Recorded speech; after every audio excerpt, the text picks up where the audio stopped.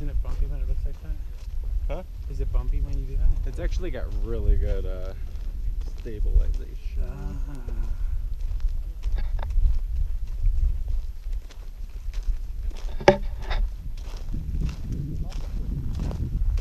And it's kind of crazy how wide the angle is. Like, I could probably see us. Just from that. It's insane. It's really weird. Una matada.